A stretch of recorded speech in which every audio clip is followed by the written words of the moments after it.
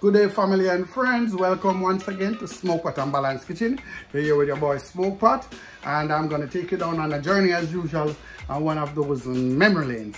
Alright, today what I'll be doing for you is what we call in Jamaica, turn cornmeal or ton cornmeal if you want to hear the patois. In the Spanish speaking countries they call it palenta. All it is is basically cornmeal cooked in different ways. So I'm going to be taking you through and showing you how I make mine. You know, I do a lot of variation with my thing. But remember, before I get any further, remember, subscribe, share, like, give a thumbs up. Make sure notification is on so you'll see it whenever there's a video. I'm throwing out mad videos. You need to go check them out, all right?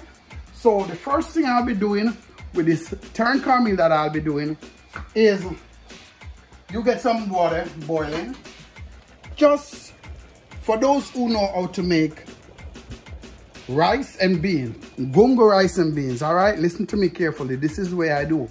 For those who know how to make rice and bean, especially gungo rice and bean, we're going to be flavoring up our sauce just the same way as you as you would do um gungo rice and peas. Maybe just a little more butter, but that's what we're going to do. So the first thing I'm going to be adding, I have here some coconut cream. I have here some coconut cream. We're gonna add this four boiling water that we have. Just like so. Be nice. And secondly, I'm gonna be adding, as I'm saying, just like you, you season rice and bean, some green scotch bonnet pepper. The reason for that, I'm not looking for the heat. I'm looking for the flavor. So when you want the heat, you use the ripe scotch bonnet pepper when you're looking for just flavor you can use the green one. So i'm gonna have the green scotch bonnet pepper. I'm gonna have some scallions but i cut them up real small real fine all right? Then i had some garlic not too much cut them up real small just the same. And then i'm gonna have some thyme all right? The next step from there is i'm to be adding a little pimento seed okay so I'm going to be adding a little pimento seed. As I'm saying, just think about you making rice and beans. Just a little. It's about a quarter teaspoon of rice in of thyme to that. All right. Next now, I'll add just a little bit of salt. Here I have some pink Himalayan salt. I'm just gonna add a little bit. Okay, that's about a half teaspoon right there. I'm gonna be adding a little black pepper, the same amount, about a half teaspoon.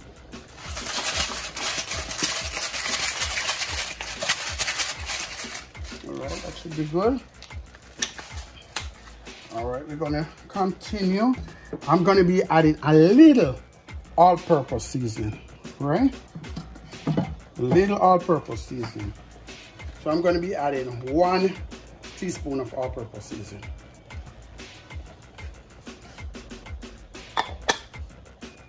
All right, I'm going to be adding a little margarine butter, about what we call a half stick in Jamaica. So whatever you, you butter you like the flavor from, you can use that one. All right, add a little margarine butter. I'll also add a little bit of uh, just a little bit of coconut oil. This is the real coconut, I'm not talking the, the, the other generic one. This is the real coconut oil. I'm just gonna be adding a little bit. I'm gonna maybe, I would say maybe two teaspoons. All right. All right, that's good. Now, I'm gonna be leaving this to come to a, a boil for about 15 minutes wherein everything in the pot is just one, right? And after that, after I created that sauce, then I'll go further to add the cornmeal. So see you back in a few. So now that I have my sauce all well set and ready to go, I'll be adding my cornmeal now. As you can see, everything has come together. The scallion, the peppers, everything is just in one. So now I'll be adding my cornmeal. And before I go any further, I want to give a big shout out to my cousin Karen and all the other people who called me or texted me and requested um, this dish, all right? So I hope you enjoy it and um, I'll talk to you soon. So now I'll be adding the cornmeal. In this pot that I'm using, I'll be adding about a pound. So what I do, while adding the cornmeal, I slowly stir in. I'm using about a pound. Now one thing with cornmeal, it absorbs liquid very, very quickly. All right? But at the same time, you want everything to be cooked. Right? So as soon as you get, I'm using um, about a pound of cornmeal right there. As soon as you get to a point where the cornmeal starts sticks like that, as I said, you stir it properly. All the grains got to be cooked out. So this is a little sort of patience game. You know, you got to continue stirring your cornmeal, right? You can turn the temperature down a little. Right now it's on high. I turn it down a little. And you continue to get everything in. It's got to be cooked for maybe at least about uh, 10 minutes. Right, so as you see, all the liquid has already evaporated. Right, so what I have done, I have some hot water boiling. So I just add a little more to what I have right here. Just add a little more. Right. You don't worry, it won't get spoiled. You add a little more water, about a half cup right there. Then continue stirring once again. I'm saying you can see, if you see carefully, you see raw grains. And look, you see raw grains. Well, you need all of those to not only get soaked in the liquid, but actually to cook for a few minutes. All right, so I turned it down, so I'm gonna leave it to simmer for a second. But while doing that, see raw grains on the spoon.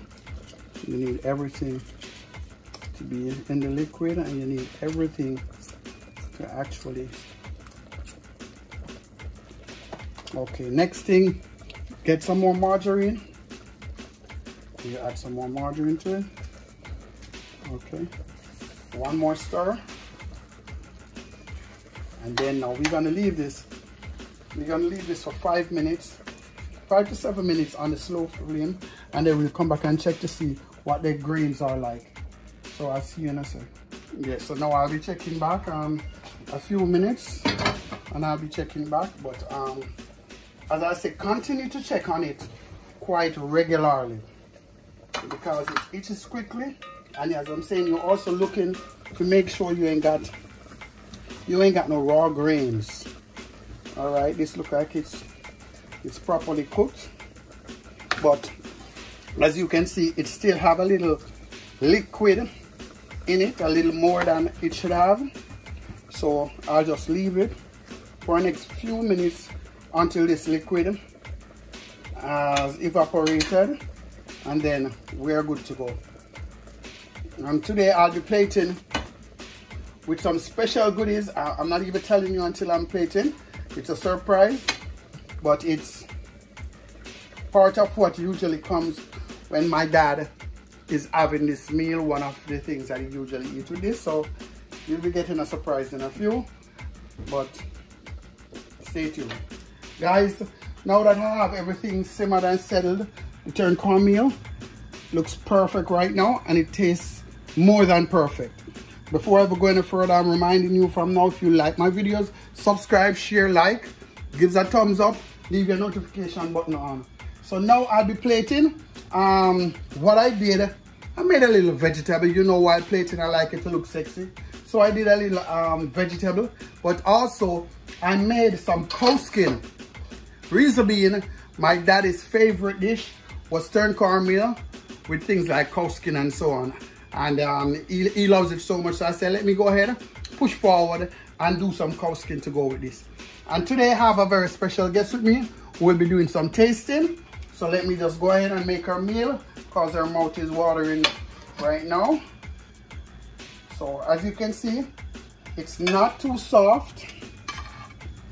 it's it's on the firm side, which is that's how it's supposed to be. You're not trying to make cornmeal porridge, right? So we put a little right there. And then now, to make the plate, I'm gonna be adding some of the cow skin that I made. I made it in a little brown stew sauce. And I'll just be having some right now. And then my very special guest today is Natalie. And Natalie will be telling us exactly what it tastes like. So remember, today I'm doing the famous turn cornmeal in my own special way. And this is what it looks like. And now wow. Natalie is gonna tell us exactly what's going on over there. It definitely looks great.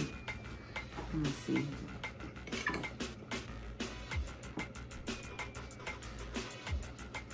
Wow. This is really good. Wow. You would definitely taste the flavor, the scallion, thyme. Oh yeah. The skin definitely.